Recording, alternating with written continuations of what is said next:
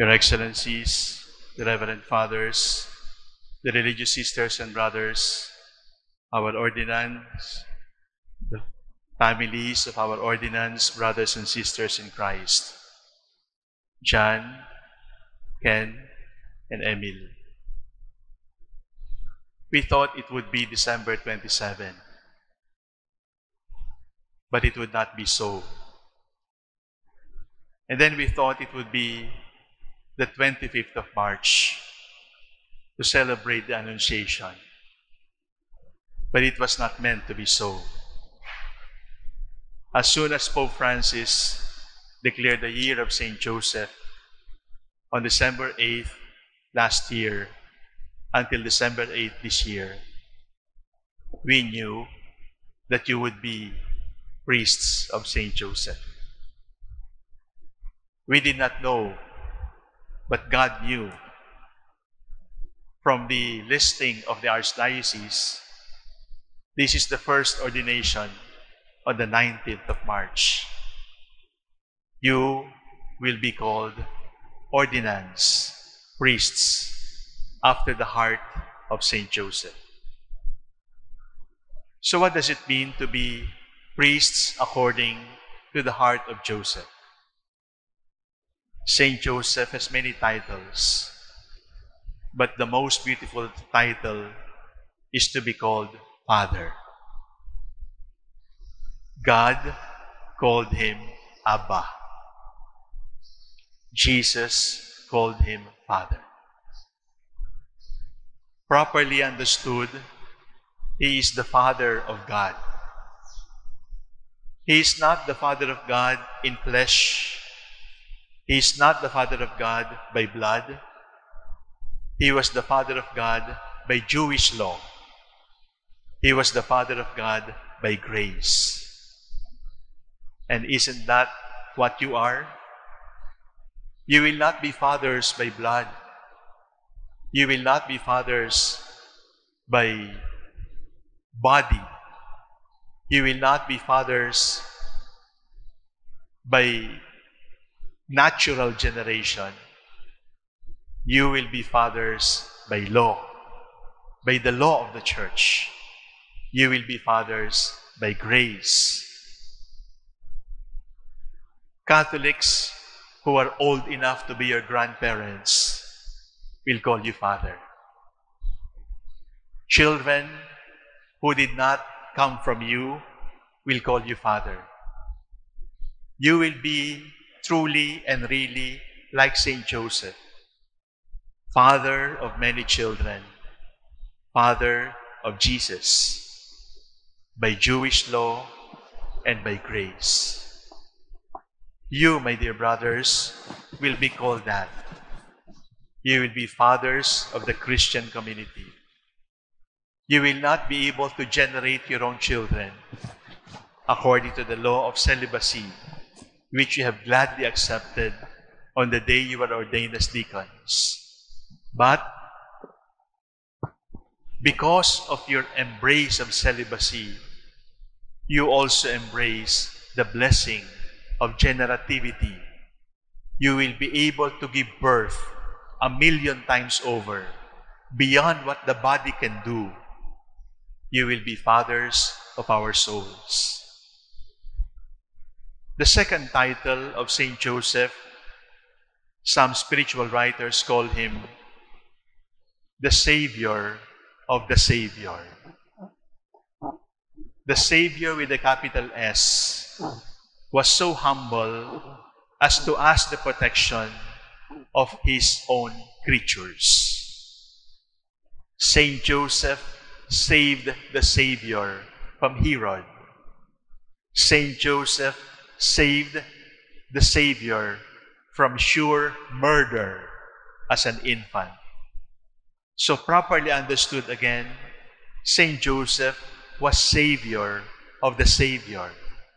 He saved the child Jesus from the murderous hands of Herod. You are not the Savior because there is only one Savior, and it is Jesus Christ. But as priests, you will be entrusted with the mission of saving us from error, saving us from falling, saving us from blasphemy, saving us from sacrilege, saving us from dishonesty, saving us from death. You are going to save us from death each time you absolve us from sins. You are going to, to save us from death each time you give us your blessing. You're going to save people from death when you baptize. You're going to save people from mistakes by your counsel. You will be the Savior of those who need salvation. You will be Jesus for them.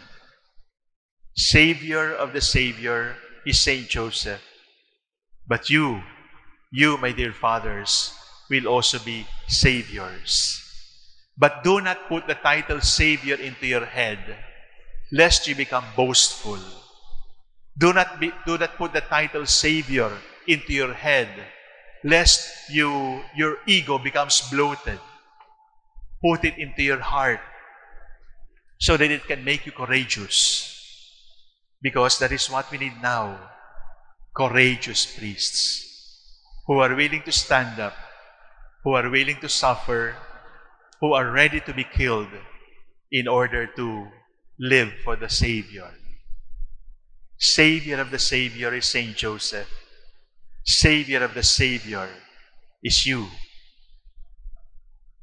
Finally, Saint Joseph was not only Savior of the Savior, but he was teacher of the teacher. The teacher taught us, I am the way, the truth, and the life. But before Jesus could say, I am the way, the truth, and the life, Jesus had to be taught how to talk. Jesus had to be taught how to read. And who taught Jesus how to talk? Who taught Jesus the meaning of words and then the reality? It is Joseph. He taught Jesus to say way. He taught Jesus to say truth. He taught Jesus to say life. And as a grown up, the lessons that Joseph taught Jesus became valuable for us. He taught the teacher how to talk.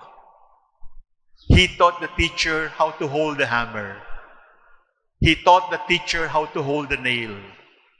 He taught the teacher how to saw wood. He taught the teacher how to walk. He also taught the teacher how to stand up if you fall.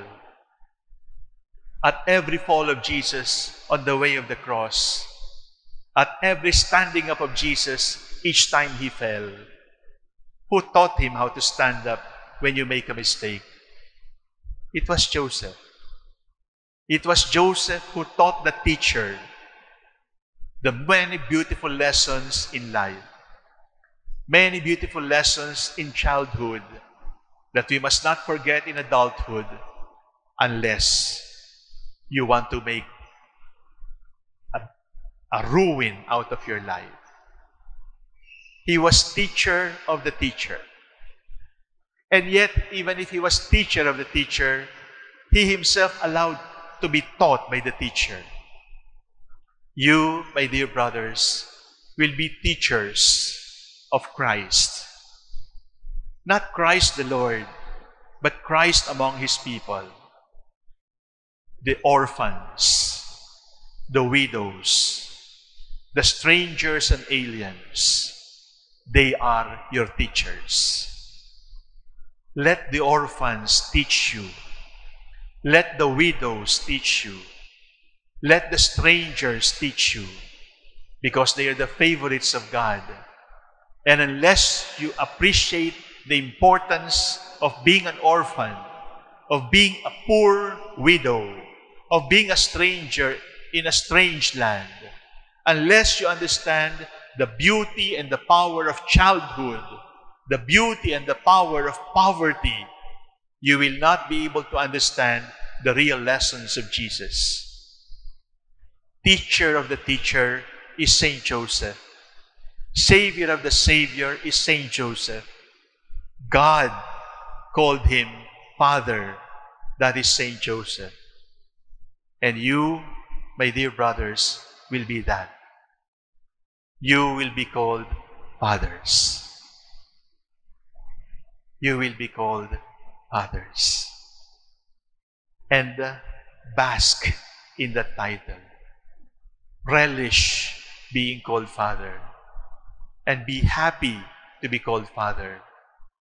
Not with a sense of egoistic pride, but with a sense of gratitude that even if you are not worthy to be called a child of God, you will be called father in the church.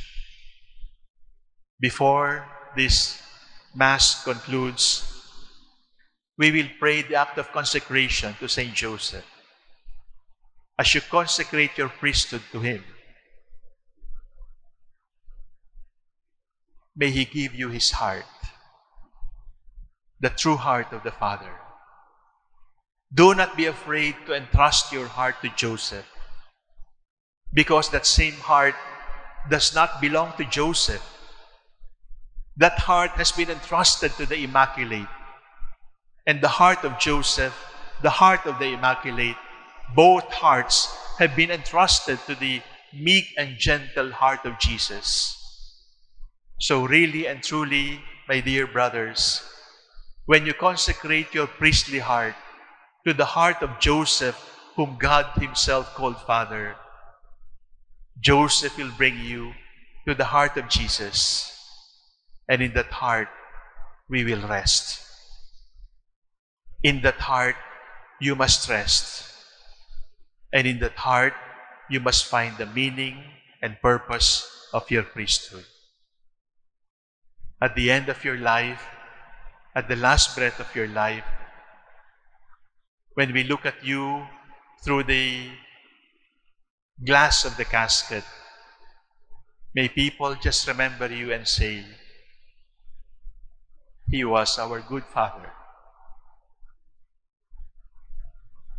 And in the life of Father John, in the life of Father Ken, in the life of Father Emil, we saw the Father's heart. We saw the Father's love. We experienced the Father's mercy. May your heart be the heart of Joseph, and may the heart of Joseph lead you to the heart of Jesus.